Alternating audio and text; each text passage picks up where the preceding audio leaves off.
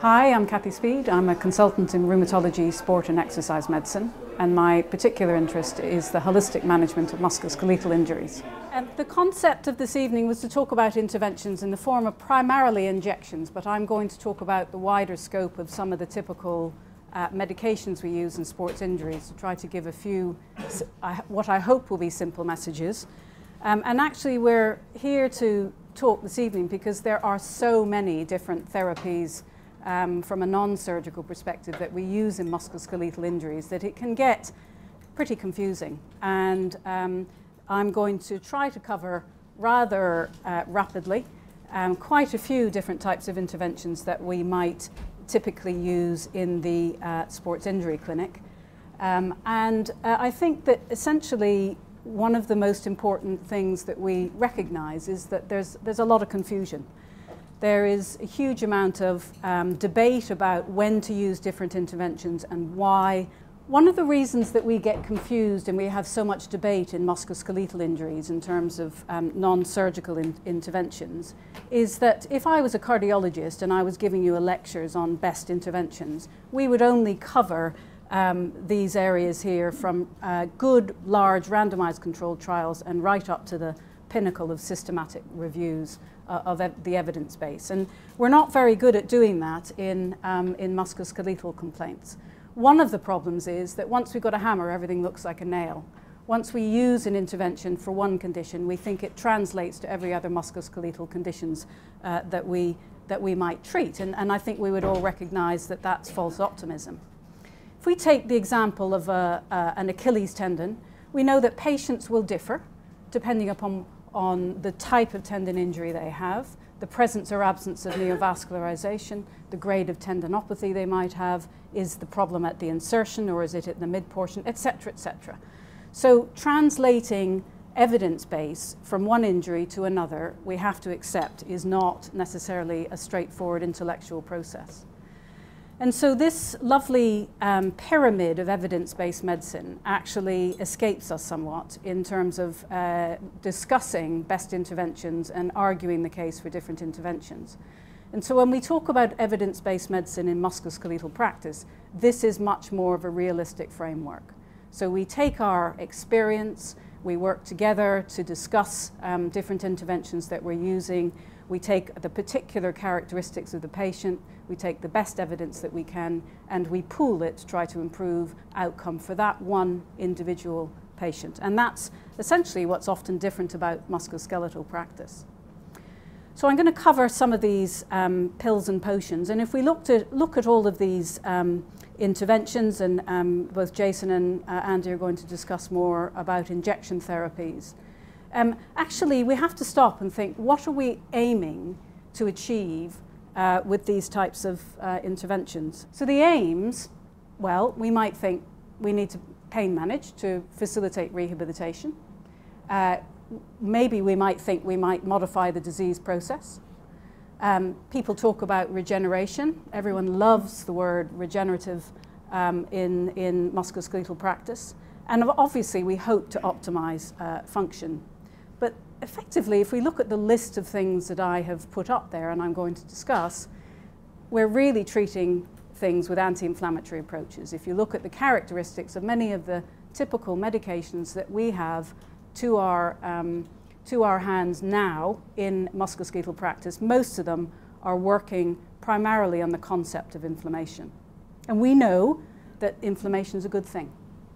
So the natural process of uh, tissue inflammation should not be interfered with unless we really have to. So when should we intervene? If inflammation is excessive, meaning if it limits the early phase of rehabilitation, or if it is excessive in terms of the fact that it's continuing on past um, seven days or so. If it's limiting the full assessment of the condition. Those are the things that actually are the limited criteria upon which we base um, our decision making to intervene in relation to inflammation. And these are the anti-inflammatory agents that typically people would talk about in musculoskeletal practice. Non-steroidal agents, topical Traumeel, uh, corticosteroid, viscosupplement, and Traumeel Zeel injections are the typical agents in sports medicine practice right now that we might reach for and people talk about anti-inflammatory properties of PRP, and I'm going to mention PRP towards the end, and I'm going to talk a little bit about um, what really cell therapies means, um, predominantly just as a passing few comments.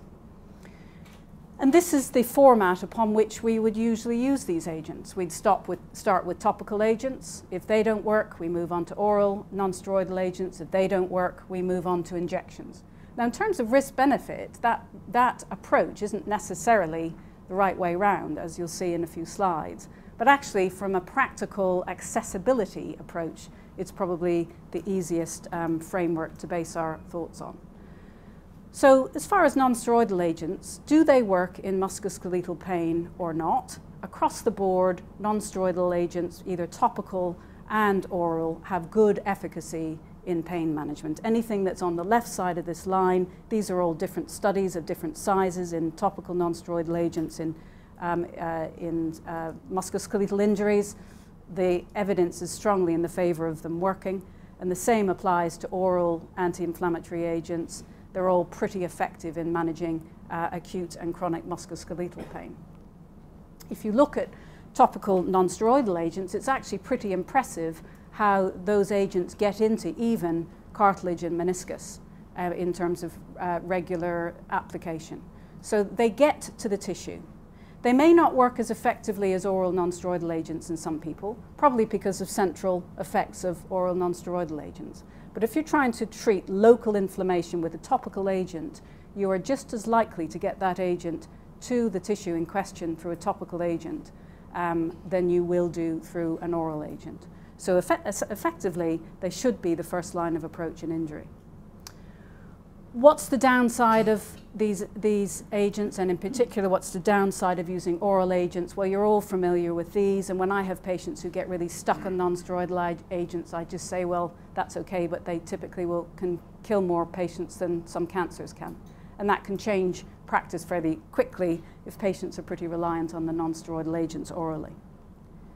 There's another element that we're all pretty familiar with in sports medicine, which is what about the effects on the tissue healing of non-steroidal agents? And there are several studies now that indicate they inhibit soft tissue repair, particularly muscle, muscle regeneration, and they cause a weakening of the enthesis with um, uh, prolonged use.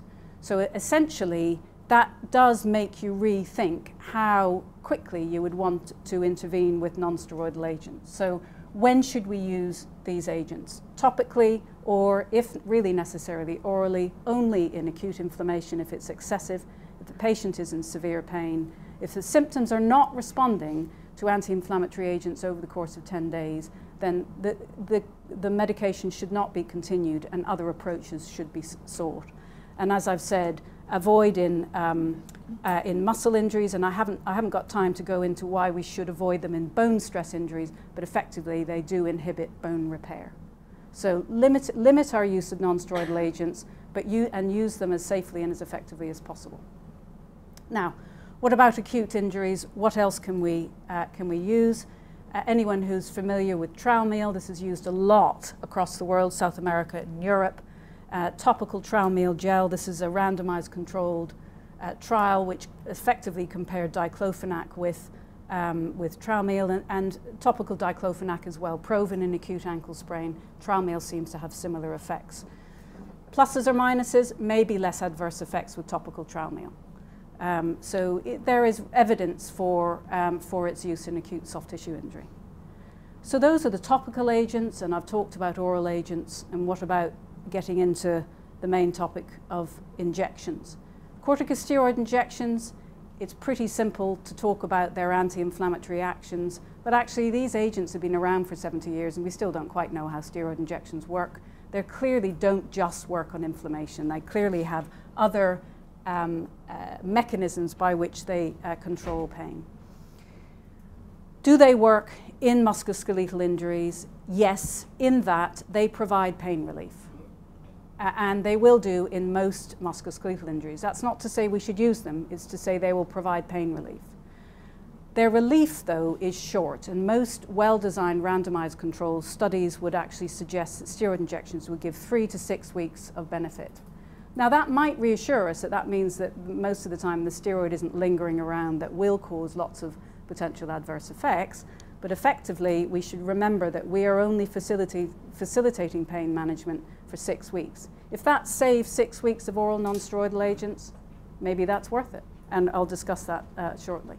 So the evidence for benefit of corticosteroid injections in acute uh, complaints is um, in bursitis, such as this calcific tendonitis, and is in um, tenosynovitis, so long flexor tendons, extensor tendons with tendon sheaths. Um, we know that there are times when we would not and should not use corticosteroids, and that's when there is evidence of significant underlying tendinopathy. So again, we, when we talk about do steroids work in tendons, yes, should we use them? In some.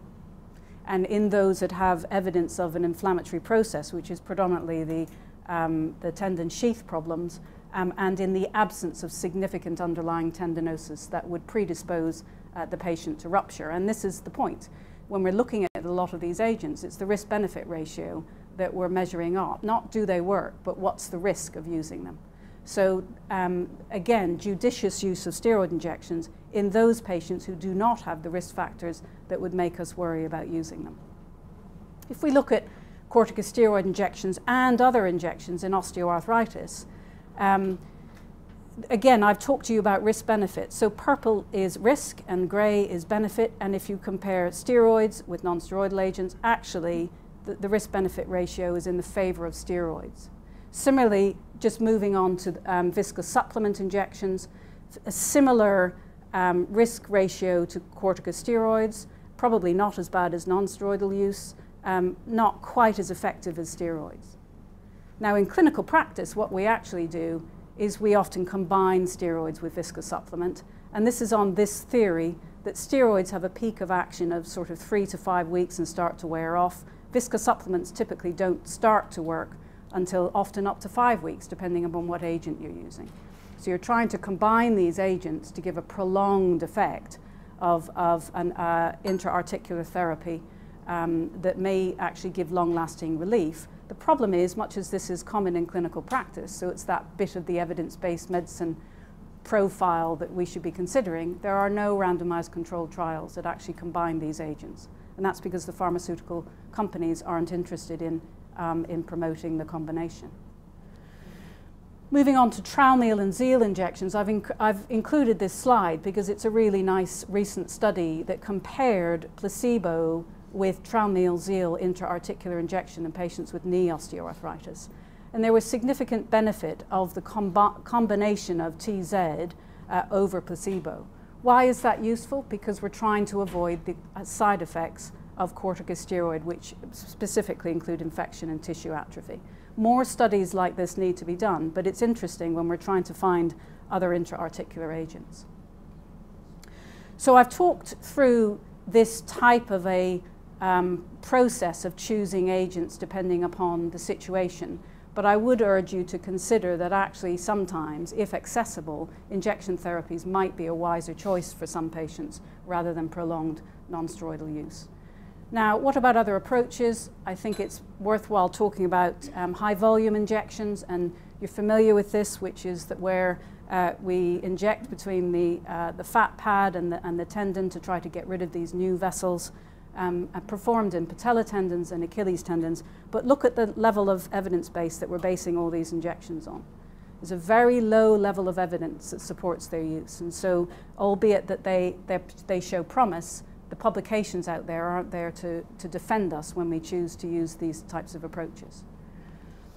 What else? Well, in, in insertional tendinopathies, as a rheumatologist, um, I think we miss a lot of individuals who may respond to biologic agents. These agents are extremely effective at high level of, of evidence in patients with um, insertional enthesitis. That's those subset of people who've got an inflammatory type of insertional tendinopathy. And anyone heard of GTN patches in tendinopathy? So these are used um, quite commonly in the management of tendon complaints. They were developed really on the very simplistic thought of increased blood flow must increase um, uh, a tendon uh, physiology, uh, health of the tendon. That's not actually probably true.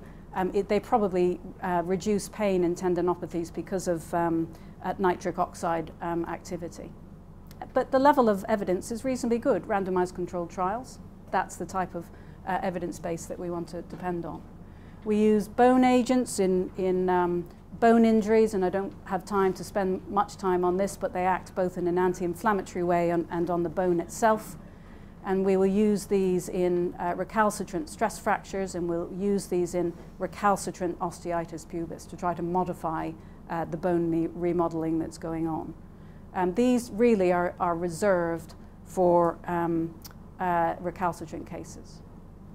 Now, very lastly and very quickly, cell therapies. This is a, a, a, a figure of how rapidly publications in, in terms of growth factors and stem cells are in uh, musculoskeletal injuries over the recent years. And just shows how much the hype is because most of these publications are nothing to do with uh, strict randomized controlled trials, they're commentaries, they're case studies, um, they're not very well designed research. And PRP is the most hyped up of the um, things that we use in sports medicine at the moment on the basis of the whole good old word regeneration and on the basis of the use of growth factors in these types of um, conditions. The problem is that there are an awful lot of other potentially pro-inflammatory um, cytokines and proteins that may actually aggravate the condition, not um, cure it. So the message on PRP is that although we can show some randomized controlled trials that looks at um, uh, benefit, um, there are many randomized controlled trials that do not show benefit in tendinopathies. And actually, if you look at the correlation between the quality of a trial and the result, the better design the trial, the more likely the result is negative. Um, and that's what we need to really face with PRPs. And lastly, a mention about cell therapies and tendon pathologies, because if people talk about this, they, we are a million miles away from getting there. You look at animal models of mesenchymal stem cells and tendon healing, wonderful results, absolutely fantastic. That's brilliant. But the problem is, A, they use them incredibly early in the injury, and we don't see patients, or I don't see patients that quickly. Um, and we certainly wouldn't be running around with stem cells if we did. Um, and so we have huge challenges to meet in tendinopathies. And if our, in our working lifetime we get there with some form of cell therapy, and I could show you similar slides for joint injuries, uh, then we'll be hugely successful. But it, we need to focus on the so-called simple things that I spent most of the time talking about. Thank you for your attention.